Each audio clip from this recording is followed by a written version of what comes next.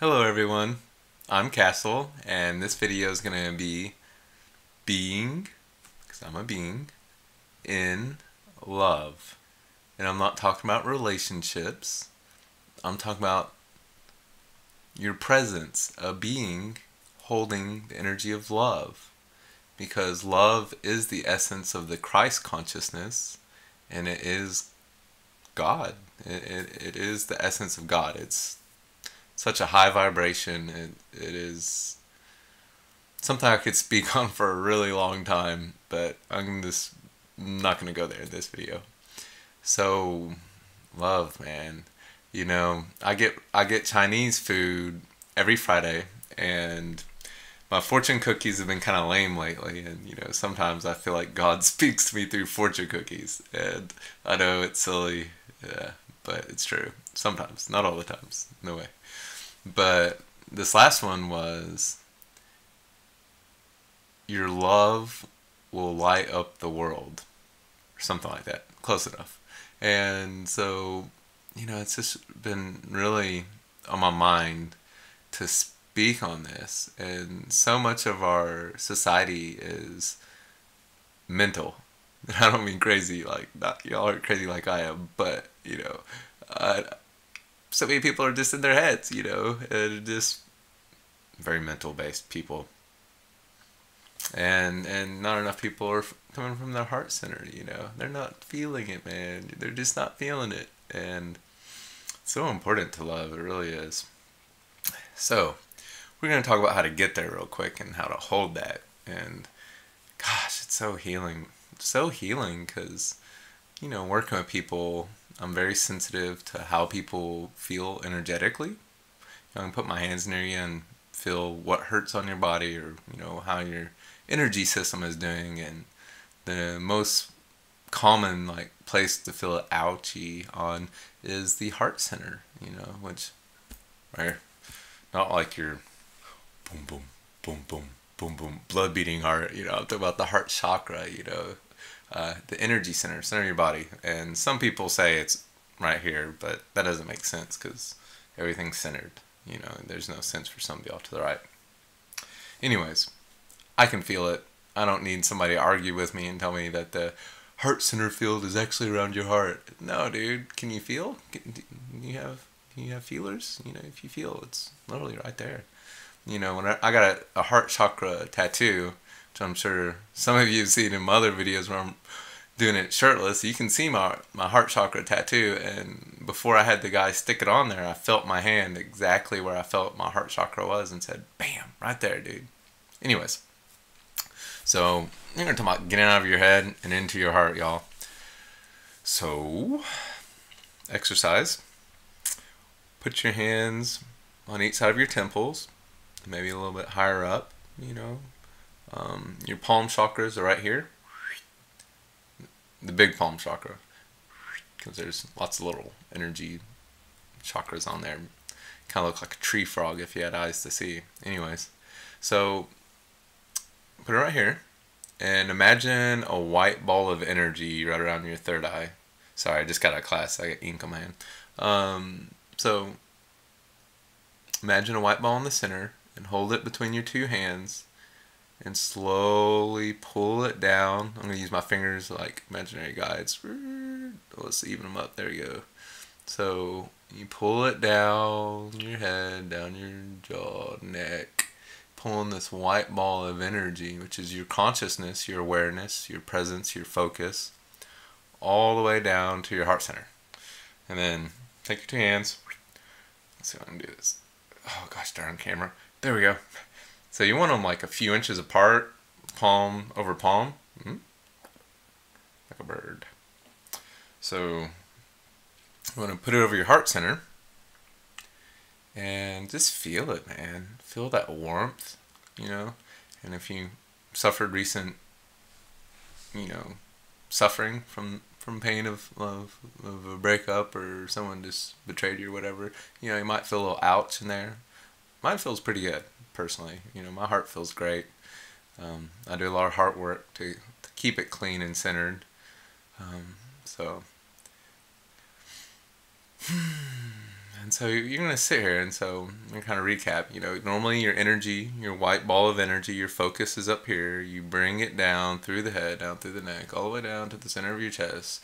You feel that warmth, and just hold it. You know, and and hmm, I get blissed out, man. Talk a natural high. It's like oh. Mm. Anyways, nah, I love doing this. One of my favorite exercises. So let's sit here and you know we can do a mantra, you know. Not like a padme hum, om mani padme hum. Not, no, we're gonna do. I love myself. I love myself. I am loved. I am loved. I am so very loved. I am so very loved. The universe loves me. God loves me. I love myself. Whatever you got to say, you know, as long as it's love based. Oh, man, it feels so good. Oh gosh, I love it. Ah, hands of light, y'all. So healing. And then, you know, sounds are healing too. If you notice, I'm naturally doing it. Hmm. Ah. Hmm. Hmm it's all good. All these sounds are good, you know. And and you'll notice if you're doing so like you know, oh that'll feel good. Oh yuck. totally.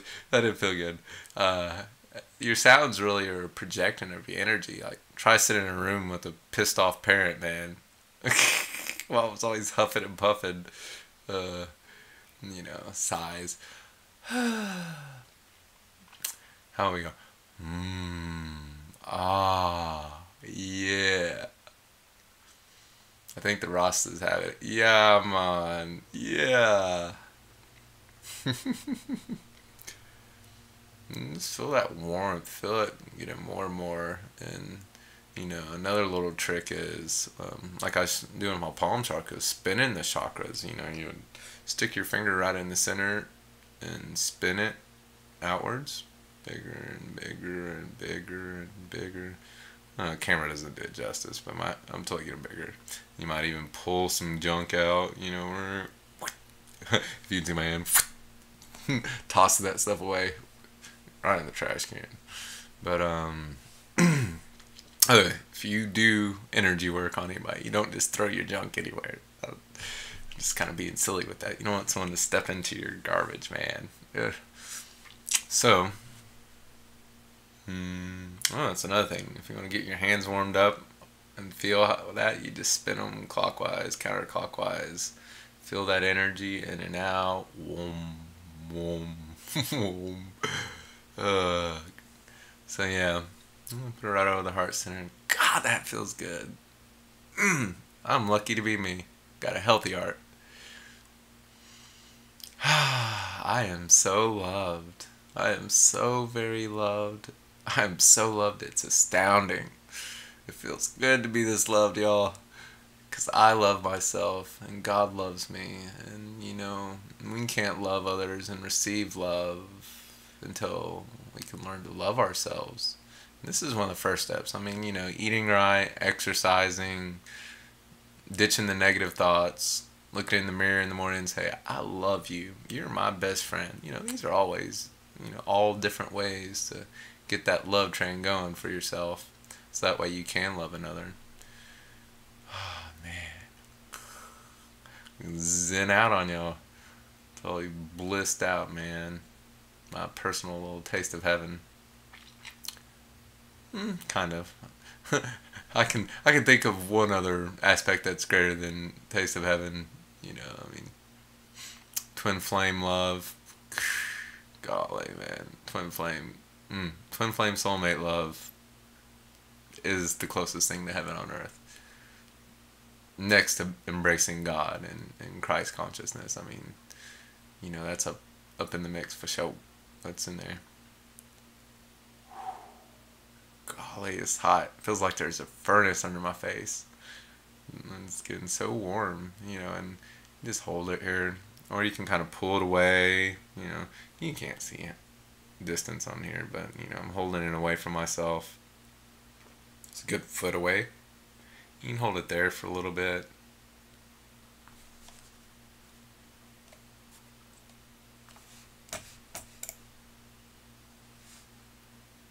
Okay, didn't stop my video. Gosh.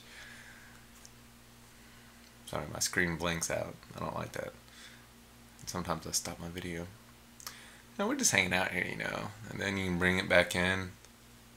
It increases the heat and the energy when you do that. God. And start going cross-eyed. Oh. uh. Alright. That was the exercise. Going to have a short bit of real talk because I want to do some other videos. What you know about love, you know? Mm, what you know about that love? Love, love, love, love is like the only thing that I like to live for. I live to be a service to God, and even these little videos like this is my servitude to God. Oh, I'm gonna write that down because that was a video I forgot about that actually I want to do next. Servitude you know, I write these little notes and I lose them. I think it really puts it in here. Anyways, love, you know, uh, what a great gift to be able to love another, love all the people you come come across, you know. It's sharing the essence of God, the essence of Christ with another. You know, give people compliments, build them up, because, you know, we all rise together. We got to build each other up and support each other. And, you know, I think in the early stages, you know, learning to share that God love with others is the first key. Then learning how to share your love with others is the second key.